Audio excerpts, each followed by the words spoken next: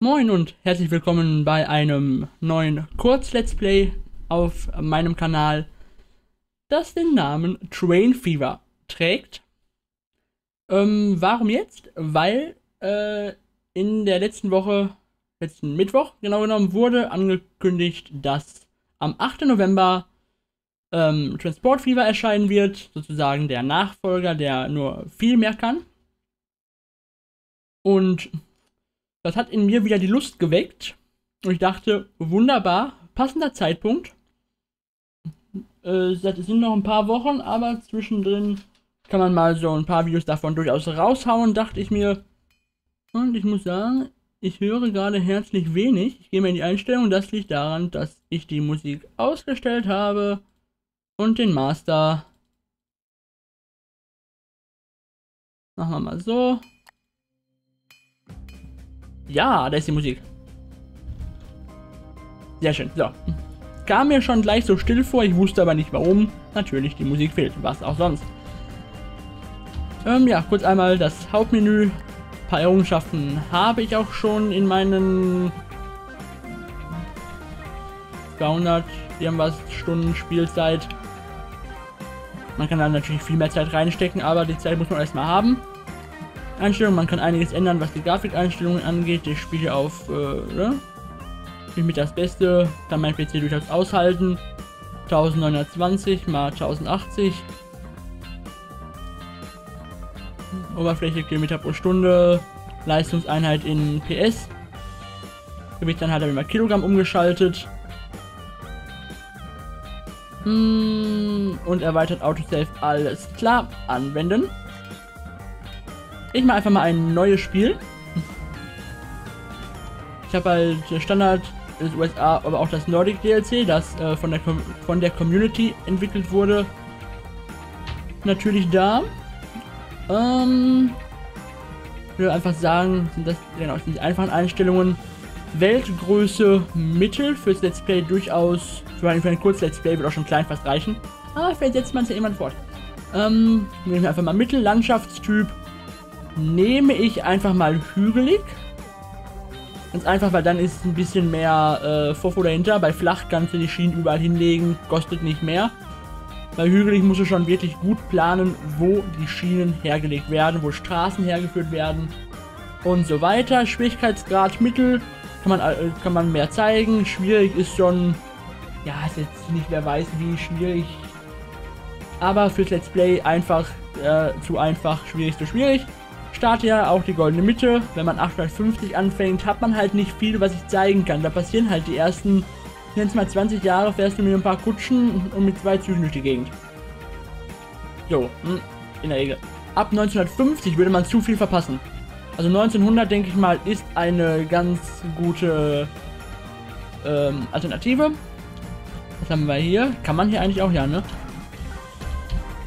Äh, Startwerte Zufallsgenerators in Nordoron. Äh, erweitert. Hier könnte ich jetzt Mods einfügen. Fahrzeuge kein Endjahr. Das mache ich mal. Weil kein Endjahr einfach bedeutet, dass die Fahrzeuge nicht auslaufen. Das heißt, ich kann auch im Jahre 2000 immer noch eine alte Dampflok von 1900 einbauen. Beziehungsweise ich kann jetzt 1900 auch immer noch die Dampflok von äh, 1850 nehmen. Oder? Mache ich das? Nein, ich mach's nicht. Ich spiele jetzt erstmal Vanilla. Ganz normale Vanille-Version sozusagen. Vanille-Eis, lecker, da hätte ich jetzt Lust drauf. Aber anderes Thema. Ähm, ein paar Mods habe ich hier noch drin. Ich habe eigentlich alle rausgeschmissen. Ein paar haben sich anscheinend in irgendeinem Ordner irgendwo versteckt. Äh, nach und nach kann man ja die einen oder anderen, den einen oder anderen Zug mal noch ähm, mit da reinbringen dann. Und wir mal sehen. So, Fahrzeuge nehmen wir mal europäisch. Die Standardzüge. Nordeuropäisch, das sind dann die aus dem Nordic DLC mit dabei oder ich nehme alle. Alle hat eigentlich ein Problem bei dem Nordic DLC. Ich weiß nicht, ob es mittlerweile mal ein Update gab. Ich habe das ähm, damals mir das irgendwann geholt und seitdem das Nordic DLC an sich nie geupdatet.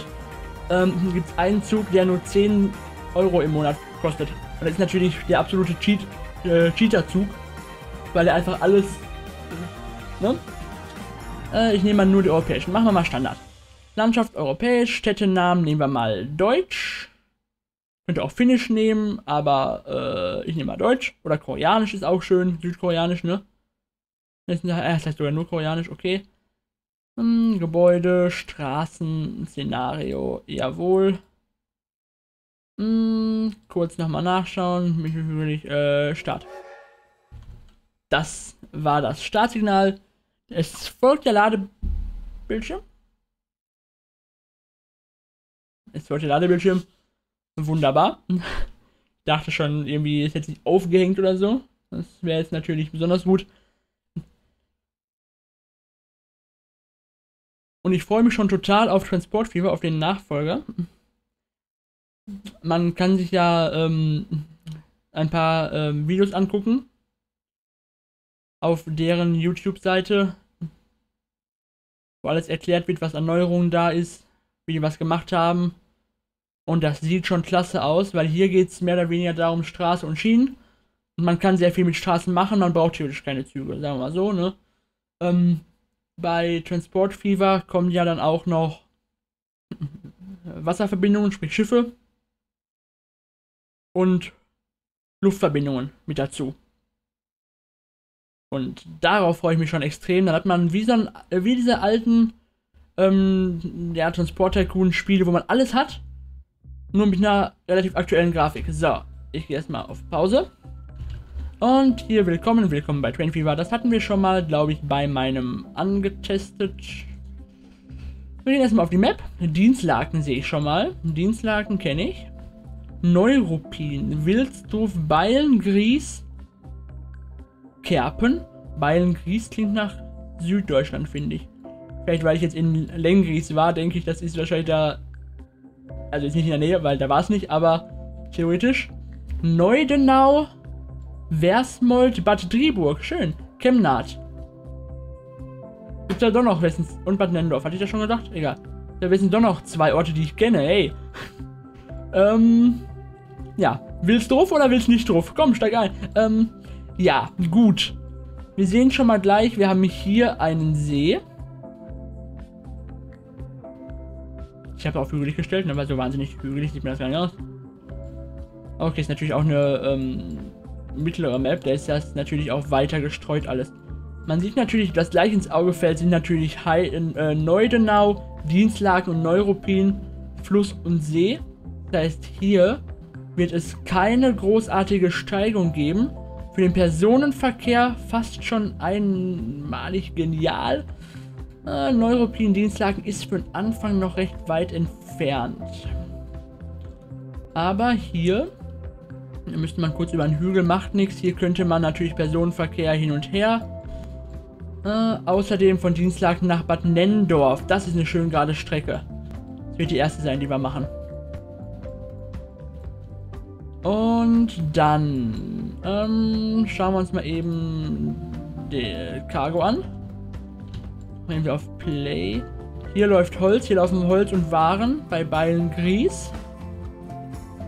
Da laufen Holz Holz. Holz und Waren bei, Ver, bei Versmold oder Versmold und auch Öl und Waren oder Güter. Okay, Pause.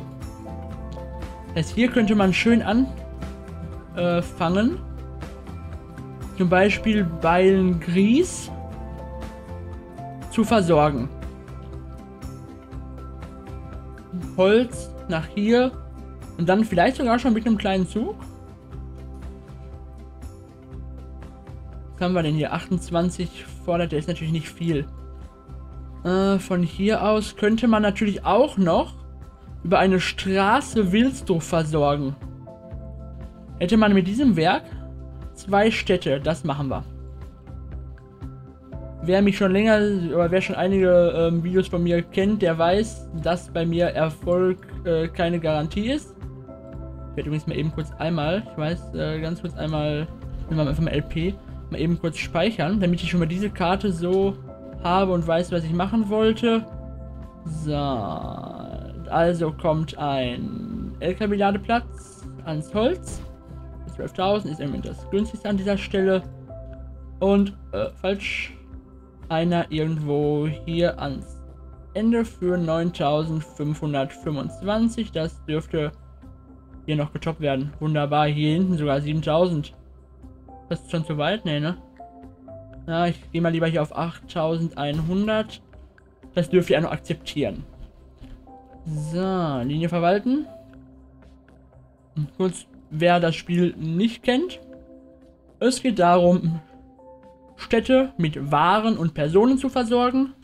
Hier haben wir jetzt gesehen, ähm, hier wird Holz produziert. Dieses Werk verbraucht Holz und, und produziert, genau.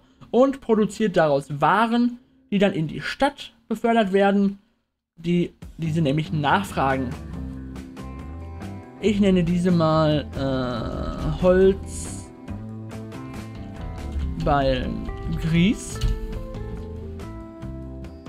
So, das heißt jetzt müssten wir hier noch LKW draufsetzen oder Kutschen, je nachdem. Dann wird das funktionieren. So, und jetzt ist natürlich die Frage.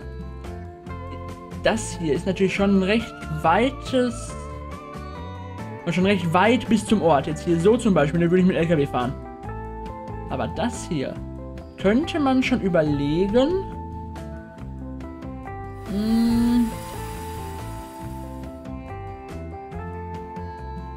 Einen Zug zu nehmen. Und natürlich eine Straße nach Wilsdruff zu legen. Die müsste aber durch den Tunnel führen. Ich sag mal so, grob gesagt, man fängt hier an, zieht... Oh, was will der denn machen hier? Krümmung zu groß, das kenne ich schon. Genau so. Kostet mich glatt an dieser Stelle 180.000. Das geht, das ist wunderbar. Oh, da will er hier erst rauskommen. Also ich hätte eigentlich so gedacht, du kommst hier oben raus mit der äh, mit dem Tunnel. Durch hier so irgendwo. Oder? Was sagen denn die Höhenlinien? Ja, genau. Sprich so ungefähr so. Hier hätte ich gesagt, mit dem Tunnel, das ist ja nur, nur ein Tunnel durch den Berg. Wobei, nicht nur, es ist überhaupt ein starkes Gefälle hier. Machen wir so, wir haben ja Geld.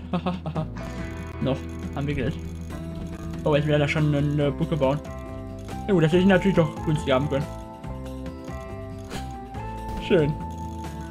Ja, prinzipiell sagte einem halt immer den günstigsten Weg an. Fahren wir halt hier rum.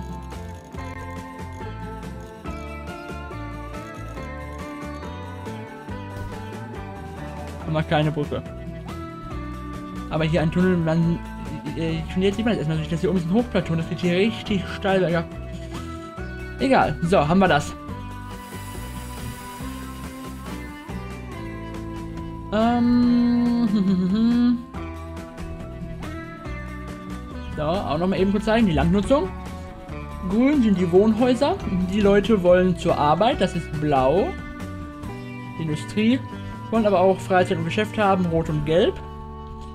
Und man kann natürlich zwischendurch mit dem Straßenbau ein bisschen nachhelfen, wenn man so wie hier dann denkt, macht doch einfach schon mal diesen Ring zu. So, zum Beispiel. Und dann nach hier hin. Ein anderes LKW-Depot. Das mache ich nicht mit dem Zug. Äh, das mache ich mit dem LKW. Beziehungsweise mit einer Kutsche. Wo müssten wir da ankommen? Hier. Haben wir natürlich auch hier eine ziemlich äh, ja, großen Hügel noch mal im Weg.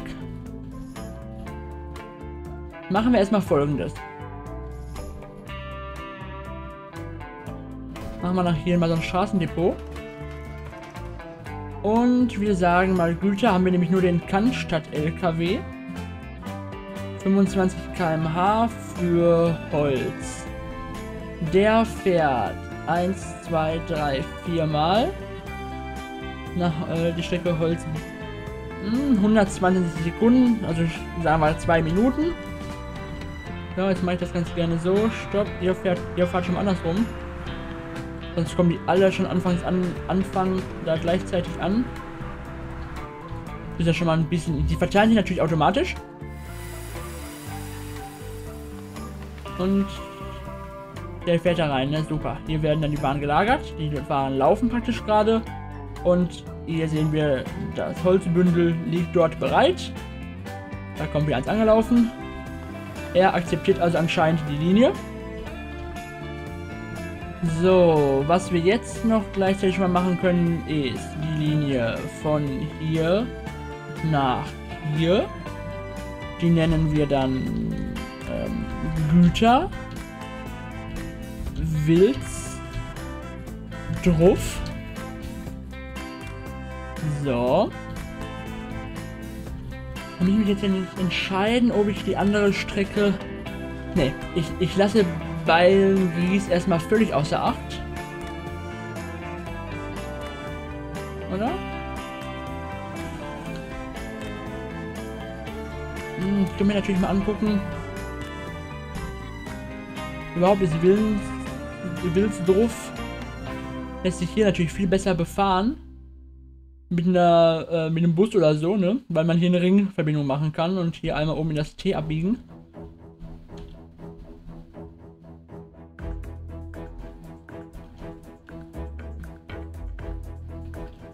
Kann man denn, ah, man kann aber auch von Wilsdruff, die steht auf einer Höhe mit Neuropin und mit Dienstlagen, kann man auch sehr schön mit dem Zug anbinden. Dann fange ich mit Wilsdruff auch tatsächlich an. Und sage mal einfach, du Sage 1, 2, 3, 4 reichen erstmal für Güter Wilsdorf. Wie viel sind das? Vier Minuten. Du ich schon mal ab. Du schon mal dahinterher. Vier Minuten ist natürlich eine lange Strecke. Vor allem natürlich auch möglich werden die arge Probleme haben, hier diesen Berg hochzukommen in dem Tunnel. Aber egal. Ich hoffe, ich übernehme mich jetzt nicht mit dem äh, mit den Kosten hier, aber man kann ja Darlehen aufnehmen, wenn es äh, zu teuer wird oder wenn man kein Geld mehr hat. So. Landnutzung. Die Leute möchten also vom Wohngebiet in die Industrie. Jetzt hat sich da auch mal Industrie gebildet. Also wir müssen auf jeden Fall hier oben rumfahren. Alle Leute verschwinden einmal. Wir halten hier sogar zweimal an, würde ich sagen. Dann fahren wir hier rum. Machen dann hier einen kleinen Abstecher rein. Und fahren dann nochmal so hier rum zurück. Halten dann hier nochmal an so. Ich glaube, das reicht erstmal für den Anfang. Industriegebiet liegt nämlich schön außerhalb. Mal gucken, ob das passt, wenn ich da anfange. Könnte man natürlich auch so einen ähm, Wendepunkt machen.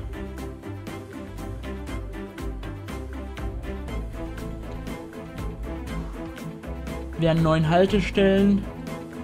Das ist dann ähm, Bus. Ja, das ist dann Wilsdruff. Bus 01. So, jetzt habe ich Wilsdorf Bus 01. Natürlich die Frage, lassen wir die...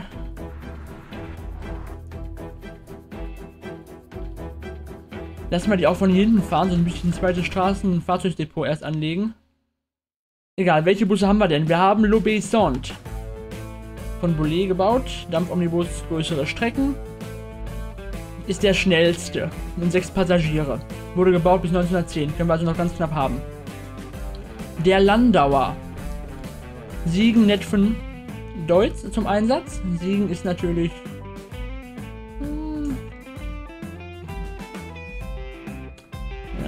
was haben wir hier noch? Den Mac.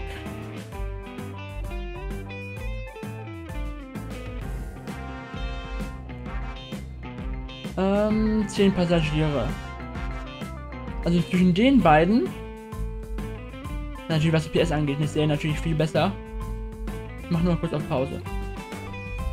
Was... Eigentlich reicht der Lobby Sound im Moment. Weil man bedenke, zum einen ist der Mac und der Landauer 6000 Euro im Jahr teurer.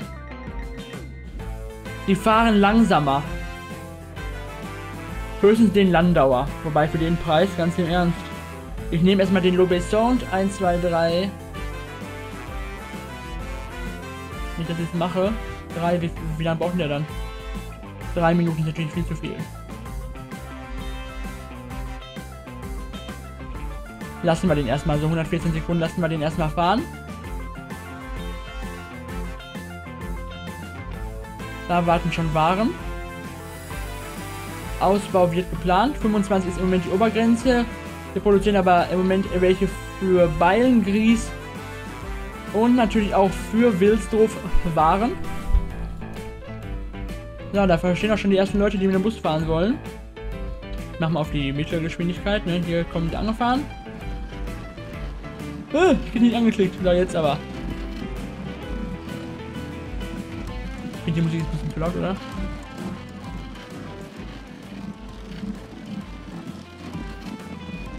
So.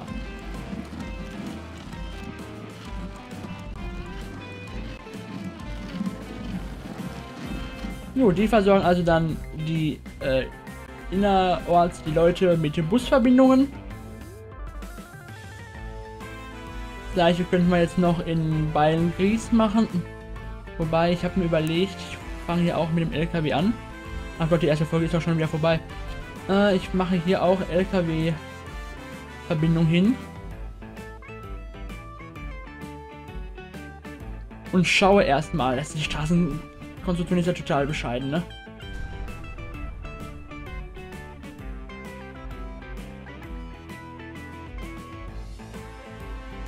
Sauerstoff nämlich rein, ne? Ne, natürlich nicht. Da wäre es nämlich schon günstig gewesen.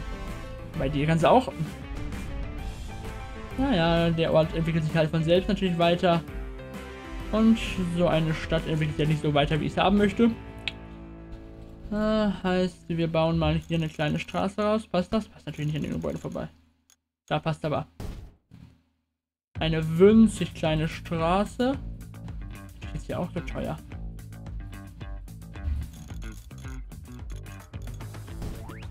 So. Perfekt. Und sagen... Ich hätte hier gleich unten schon mal einen großen Verladeplatz machen sollen. Und sagen... Güter... Beilen Gries.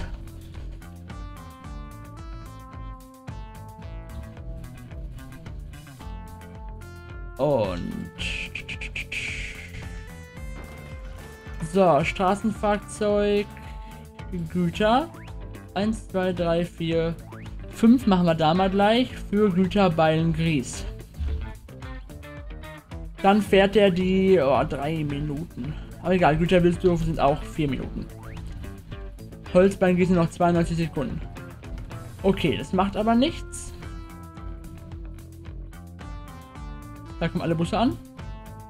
Im Moment machen noch alle Linien Minus, das ist aber völlig normal.